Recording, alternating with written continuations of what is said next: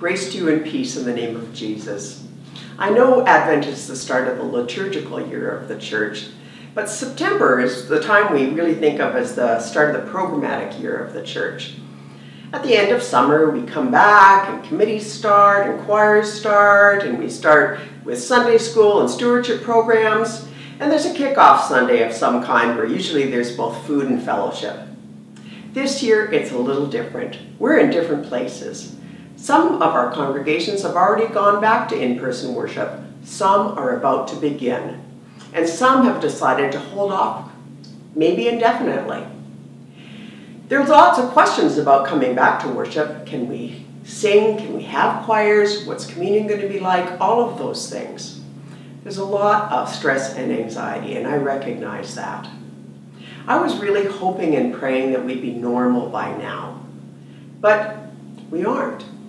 It seems like this period of uncertainty with the pandemic is going to continue for some time. It's okay.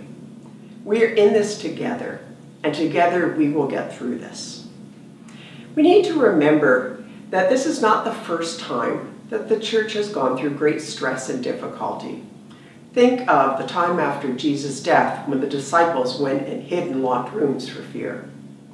Think of the early church who existed in persecution and had to meet secretly. Think of the churches who went through great plagues like the Black Death and what it meant for them. Think of churches who ex experienced war and displacement like we know in our more recent history in the two world wars. Through all of our fear and anxiety and locked walls, Jesus comes to us and says, Do not be afraid. I am with you. My dear friends, God has not abandoned us.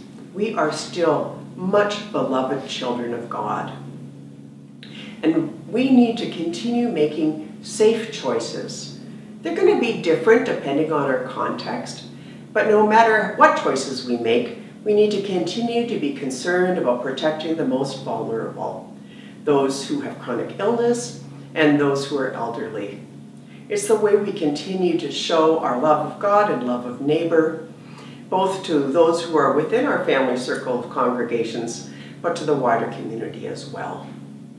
Whether you're worshiping online or in any other form, or whether you're worshiping in person, you are church. God loves you, and so do I. Let us pray. God, in our church across our country, we are in very different places right now. Some have returned to worship, some are preparing to return, and some want to hold off for some time. In our very mixed emotions and different settings, be with us and hold us together as your beloved people. In Jesus' name we pray. Amen.